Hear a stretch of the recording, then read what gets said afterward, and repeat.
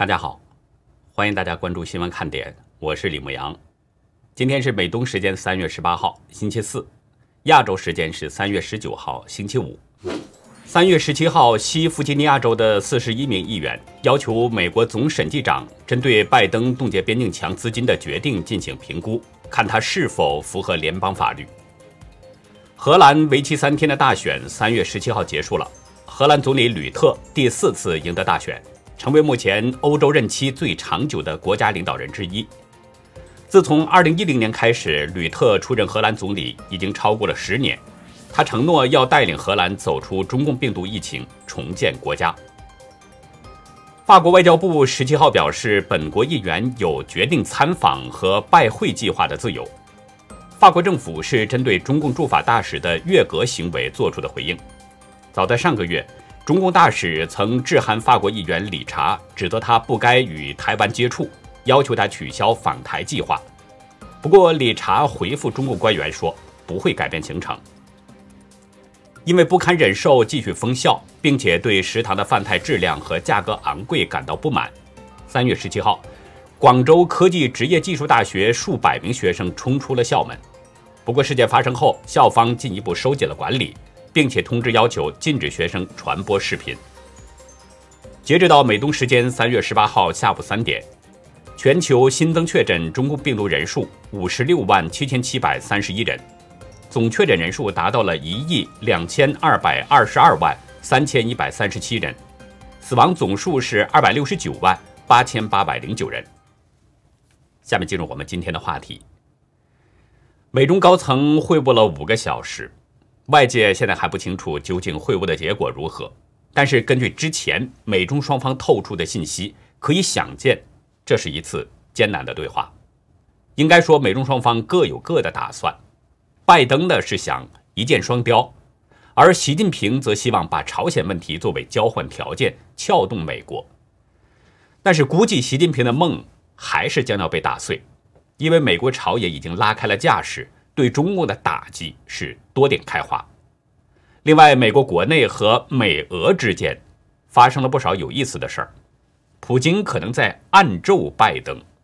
随后呢，有外国领导人直接称呼哈里斯为总统等等。在前往阿拉斯加前，美国国务卿布林肯在首尔记者会上回应了记者的提问。他的讲话重点谈到了两个方面内容。一个是对中共的高调批评，另一个是对朝鲜的政策。布林肯这次的批评更加直截了当，他批评中共一贯违背承诺。韩联社报道，布林肯指出中共背信弃义，迫使美国和盟国必须要合作对待相关的问题。布林肯说，中共正在利用胁迫和欺压的手段，一步步侵蚀香港的自治，削弱台湾的民主。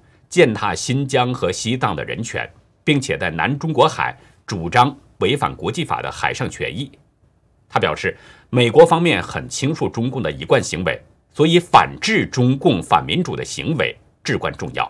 他说，期待着有机会向中共官员非常清楚地表达，对于他们的行为，美方存在着一些关切。谈到了朝鲜的相关问题时，布林肯表示说，拜登政府呢？将与韩国、日本等盟国协商策略，考虑施压和外交选项。他说，美国仍然推动朝鲜无核化，减少美国同盟国的威胁，提高朝鲜人民的生活水平。布林肯还强调，华盛顿相信北京在朝鲜无核化方面能发挥重要作用。他说，某方面来说，一切都在考虑范围之内，美方报纸非常开放的态度。对于布林肯再次炮轰中共，已经没什么新意了。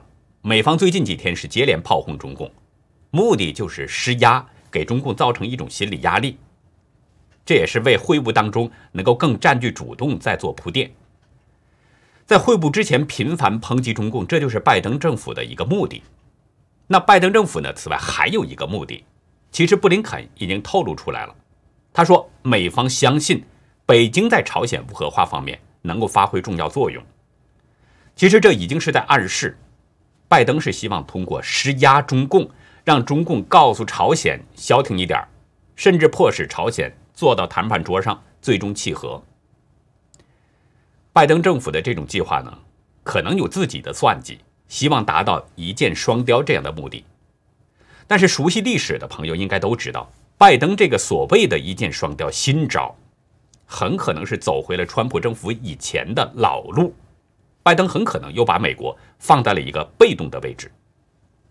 川普政府以前，美国也曾经多次向中共施压，要求中共阻止朝鲜的核武研发，为此还曾举行过多次六方会谈。但是人们发现，中共表面上承诺阻止朝鲜的危险行为，但是实际上呢，中共是在暗中向朝鲜提供核技术以及相关的物资能源。中朝双方一唱一和的双簧，把国际社会玩的是团团转。从二零零三年开始，一直到二零零七年，美国、日本、韩国、俄罗斯、中共和朝鲜这么六个国家先后进行了六次六方会谈，还有一次三方会谈。我们就以第一次在北京举行的三方会谈为例。二零零三年四月二十三号到二十五号，美中朝三方呢聚在了北京。当时的小布什政府啊，是相信了中共的欺骗谎言。不允许美方代表呢跟朝鲜方面的代表举行任何形式的单独会面。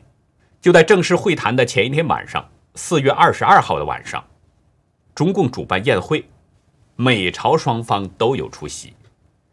在席间，朝鲜的代表同美方代表呢单独说话，表示朝鲜已经对核燃料棒进行了处理。但是美方代表在告知中共代表的同时，表示要请示华盛顿。第二天。美方代表团就表示，不能与朝鲜方面进行任何直接接触，只能三方会谈。但朝鲜方面因此就拒绝出席三方会谈。后来呢，经过中共劝说，朝鲜方面是放弃退出会谈的想法了。可是这个时候已经变成了中共分别与美国和朝鲜单独谈判。中共就利用这样的机会，一次次假传圣旨。最终骗取美国的信任，促成了美日韩三个国家对朝鲜进行大量的经济援助，换取朝鲜放弃核研发。此后的六方会谈基本上都是这样的套路，中共从中左右逢源，是两头欺骗。国际社会想制裁朝鲜的时候呢，中共这个时候出面阻拦，使制裁是一次次的流产。不仅如此，中共还是替朝鲜向国际社会要条件。骗得国际社会的一次次经济物资援助，而当国际社会想制裁中共的时候，朝鲜又出面制造区域紧张情绪，使国际社会不得不转移视线，没有办法专心打击中共。到了川普政府时期，川普是看到了问题的实质所在，他除了维持对朝鲜既有的制裁之外，重点放在了打击中共上。正所谓是射人先射马，擒贼先擒王。只要中共消停了，朝鲜自然也就不敢声张。这一招相当有效果。朝鲜没有像以往那样再给美国捣乱，而是静静地看着中共被收拾。这一招是川普看到了病灶，然后标本兼治。但是拜登政府试图再次让中共压制朝鲜，迫使金正恩放弃核武器。这又回到了川普以前的做法。《纽约时报》认为呢，拜登是在用打太极拳来取代刚猛直拳。对纽时的这种描述，我不想做什么评论，大家心里应该都有数。我希望我的这个分析呢是错误的，因为这对美国、对国际社会都是非常不利的。穿新鞋走老路，问题依然存在。如果不幸被我猜中了。这很可能会再次把美国置在被动位置，美国很可能再次被中共和朝鲜牵着鼻子走。其实，为了这次会谈呐，中共可能没少动心思。在今天双方会谈之前呢，中共驻美大使崔天凯先是放出了冷风，他对大陆媒体表示说：“中方会晤没有过高的期待和幻想，不指望一次对话能解决所有的问题，只希望。”带着理解离开。崔天凯声称，涉及香港、台湾、新疆等问题呢，中方没有妥协退让的余地。声言，如果到冰天雪地的阿拉斯加就是为了妥协退让的话，他会建议取消行程，让人们放弃这种幻想。中共安排崔天凯说这番话，显然是有一定的目的，意在就是告诉美方涉港、涉疆、涉台这样的问题不能谈。但是美方却在此前强调，这些都是美方必谈的议题。显然，双方在这些问题上不合拍，没有重叠。那么，中共想谈什么呢？有知情人向《华尔街日报》表示，中共官员计划呢敦促美方取消川普政府对中方实施的制裁和限制措施，特别是针对华为和中芯国际的制裁。此外，还有美方对中共党员、官媒记者和留学生的签证限制，希望重启休斯顿中领馆等等。另外，还有两个重要的议题。消息人士说，中共官员提出一个新的框架，希望开展双方的经常性年度会晤，以解决各个领域的分歧。更重要的是呢，希望推动习近平和拜登在四月二十二号的。全球气候会议期间举行视频会晤，不过最后这一项习拜会随后呢被中共外交部自己否定了。发言人赵立坚表示说，美中高层会晤不会磋商这个问题。但是赵立坚并没有否定其他内容，那也就是说，知情人透露的那些议题，除了这个习拜会，其他都是中共想谈的。但是美国国安顾问苏利文。在前往阿拉斯加之前，曾经明言，美中贸易、关税和各种限制不是这次会谈的主要话题，因为很多这些范畴的官员都没有参加会议。根据双方透出的各种信息，基本上呢，我们可以使用排除法做一个判断：除了习拜会晤不谈，经济贸易问题、各种限制问题、涉港涉疆和台湾的问题，双方又都没有重叠，那么剩下的。可能有共识的内容，实际上已经是所剩无几了。我认为呢，美中双方或许啊，将在朝鲜这个问题上要展开一些讨论。前几天就有消息传出，拜登政府一直想跟朝鲜方面联系，但是金正恩都不理睬拜登。今天早晨布林肯的话当中也是透出了这样的意思，希望跟朝鲜方面能够联系。另外，今天在稍早些时候。朝鲜外务省第一副相崔善基表示，平壤拒绝和华盛顿有任何对话，除非美方改变政策。这一点很可能被中共会认为是一个空子，要主动抛出朝鲜的议题，用朝鲜去核来作为一个交换条件，试图撬动拜登政府。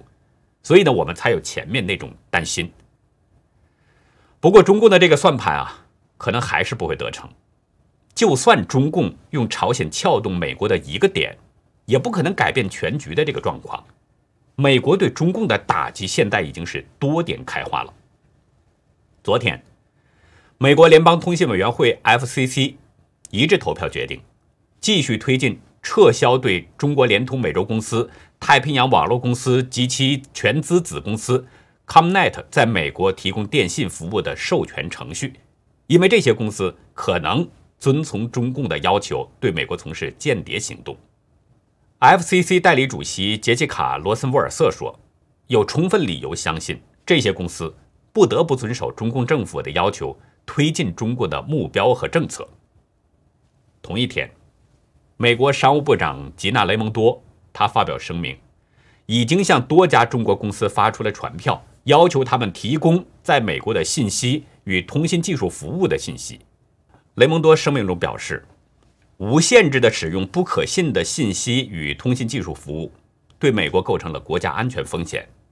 北京从事了削弱美国的技术优势和威胁美国同盟的行为。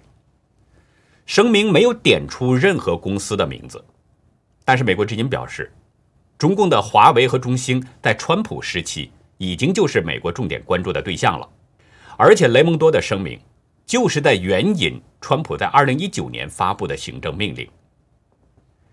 另外，据美国防御新闻网站报道，美国海军将很快要接受新型的战斧巡航导弹，可以在舰艇发射，对一千六百公里之外的陆地和水面目标进行攻击。报道指出，雷神公司将在下周要交付第一批战斧导弹。这种新型战斧导弹的射程超过了一千六百公里。并且将持续开发，最终要形成 Block VA 还有 Block VB 两个子型号。防御新闻指出，新型战斧导弹的长射程在亚太地区尤为重要，有助于美军更好地应对中共东风反舰道导弹。在昨天参议院美中战略竞争听证会上，外委会主席梅嫩德斯表示，两党议员正在积极地制定一项与中共展开全面竞争的法案。这项大型立法措施可能最快呢要在四月中旬进入到审议阶段，并且可能在四月底要进行参议院的表决。梅内德斯表示，目前的美中关系，国会两党几乎毫无悬念地定性为是战略竞争对手。华盛顿与北京发展到现在的这个状态，他说这是中共多年来采取政策的结果。梅内德斯指出，美国必须清楚且清醒地看到北京的意图和行动，并且相应调整美国的政策和战略。美国需要一个全新的战略框架。与中共竞争，还有需要一套新的组织原则来应对这个新时代的挑战。外委会首席共和党议员李施呼应了梅嫩德斯的说法，他说：“与中共的战略竞争必须是与美国外交政策的第一优先事项。中共的挑战迫在眉睫，美国必须采取相应的行动。”目前，在美国的国会击败中共。这是两党不多的交集之一。据了解呢，两党议员正在积极制定这样的法案，将在国务院设立跨部门办公室，负责协调美国与其他民主国家之间科技与新兴技术合作的伙伴关系，包括量子计算、人工智能、五 G 以及半导体产业的研究，并且制定标准等等。美国之音指出，总体而言。这项立法措施主要就是为了结合民主国家在技术领域合作，并对抗来自中共的威胁。知名民调机构盖洛普刚刚发布了一份最新的民调，显示有百分之四十五的美国成年人认为中共是美国最大的敌人，这个数字比一年前翻了一倍多，创下了新的历史记录。大家都知道，现在疫情肆虐，所以彼此之间呢，通常会多一份问候。比如，我就经常在节目中跟大家说“注意安全呐，保持健康”之类的这样的话。在这种特殊的场合下呢，告诉人们注意身体健康，人们不仅不会反感，而且啊，还会感到心里边很温暖。但是如果换一个场合，换一个语言环境，平白无故对别人说“注意安全”或者是“保持健康”，那效果可能就不一样了。今天，俄罗斯总统普京塔斯社表示：“就我美国同行的发言而言，我会对他说什么呢？我会告诉他，保持健康。我希望他身体健康。”普京说的美国同行指的就是拜登。如果单独听普京的这段话，似乎没什么问题。但是如果联系普京说这段话的背景，这个就有意思了，因为昨天呢，拜登呢在接受 ABC 采访当中，他把普京说成是杀手。采访当中，拜登谈到了俄罗斯政府可能干预了美国政治。拜登表示，曾经跟普京呢有过一次长谈，他说：“我了解你，你也了解我。如果我确定发生了这件事，那么就要做好准备。”随后，记者斯特凡诺普罗斯呢就追问。问拜登：“你认为普京是个杀手吗？”拜登回答相当肯定：“嗯嗯，我是这么认为的。他将付出代价。”在拜登说完这段话后，俄罗斯召回了驻美大使，还有其他的几名外交官。虽然俄国外交部没有说明召回外交人员的原因，但是发言人马里亚扎哈洛娃他表示说：“美俄关系正处于困难状态。”走到了死胡同，这是因为拜登政府造成的。随后就在今天，普京在接受塔斯社采访的时候呢，就说了那段话，让拜登保持健康，并且他还特别强调补充，没有一丝讽刺。普京的这个说法究竟有没有讽刺，外人谁也不知道。但是中国人的确有这么一种说法，叫越描越黑，就是说一句话不要总重复强调。越强调越容易产生误会，让别人产生联想。有人可能记得，在二零一七年六月的时候呢，习近平在哈萨克啊与普京曾经有一次会晤。当时啊，普京一方阵容整齐，已经到了会场了，而中方只有习近平一个人，其他人都迟到了。普京当时笑着形容习近平是孤独战士，因为没有翻译在场，这个孤独战士只能是以笑容作陪。可见普京的这些措辞那是相当讲究的，他总能抓住人的弱点，轻轻地怼你一下，让人感觉到酸酸的。现在，他又来酸拜登了。尽管他解释说没有讽刺，但是你相信吗？我是不信。另外，在这种特殊的语境当中，对拜登说“保持健康”，很容易让人产生联想，里面似乎带有暗中诅咒的意味。众所周知，拜登已经接近八十了。虽然媒体呢并没有报道关于拜登身体状况的消息。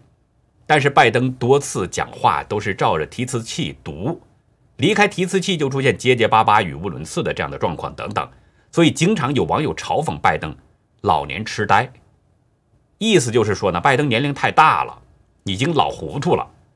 而一个人如果出现老年痴呆的状况，相信大家都清楚这意味着什么。我们再来说说哈里斯，他现在可能正内心狂喜呢。对了，大家别误会哈，这前后连在一起了。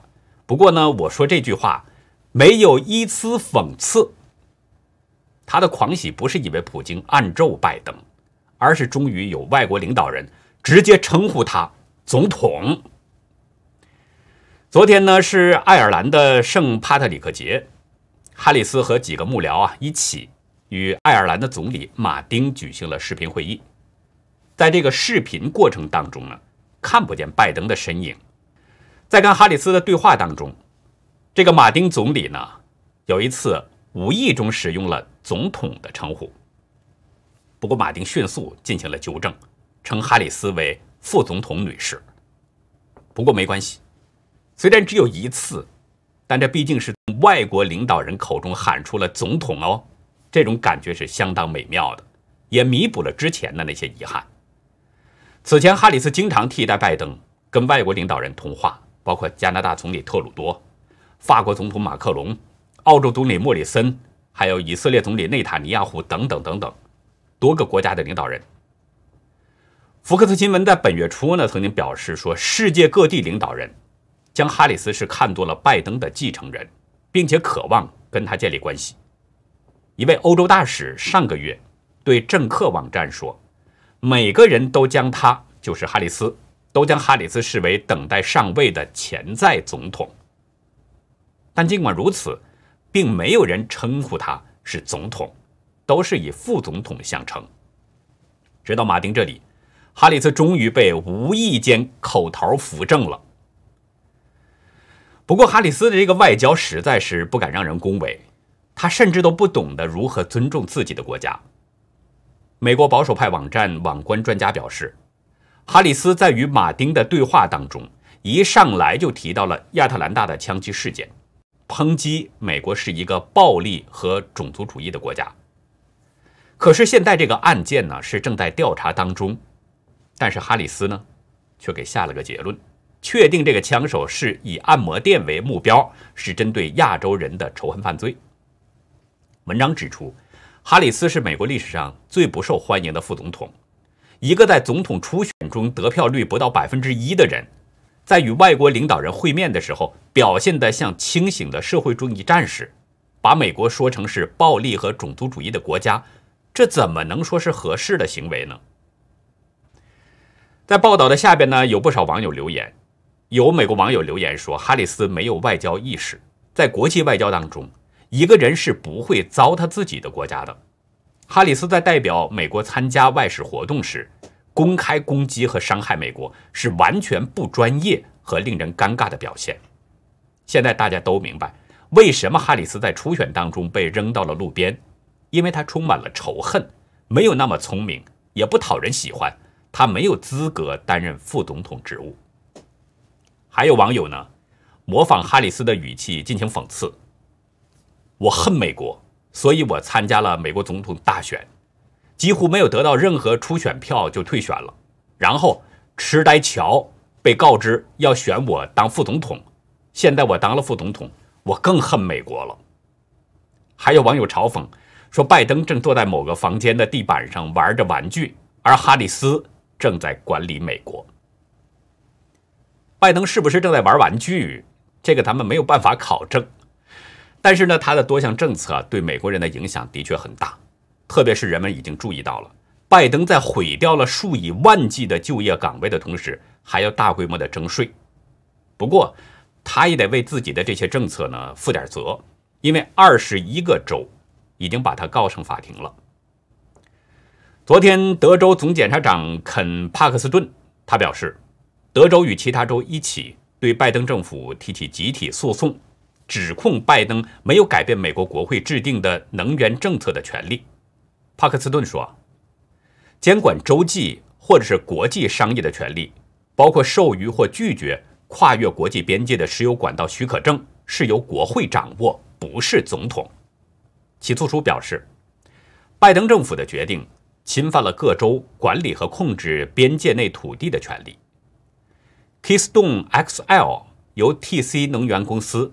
设计，并且呢，本来可以把大约八十三万桶石油从加拿大和蒙大拿州运输到美国的中部交界处，还有休斯顿的炼油厂。但是拜登上任的第一天，就以遏制气候变化为理由，签署行政令撤销了这个输油管道的许可，使美国和加拿大损失了六万个就业机会，还将造成十几亿美元的损失。也就是说。拜登在撤销了 Keystone XL 输油管道许可之后，至少造成了几万美国人失业，这个影响是很大的。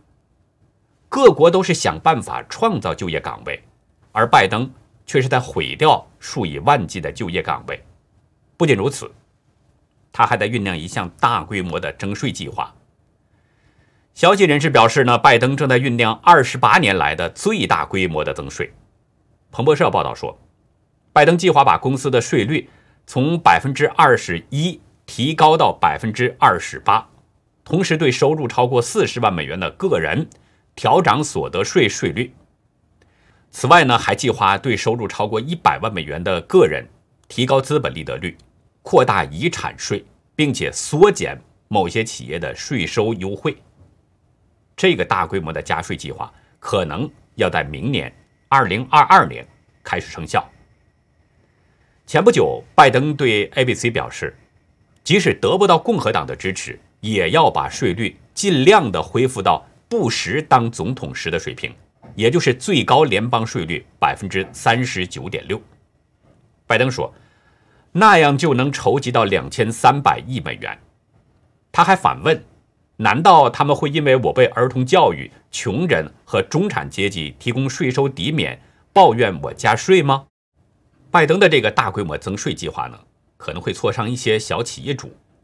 本来是计划扩张业务的，现在可能不得不放弃了，甚至可能会缩减企业规模。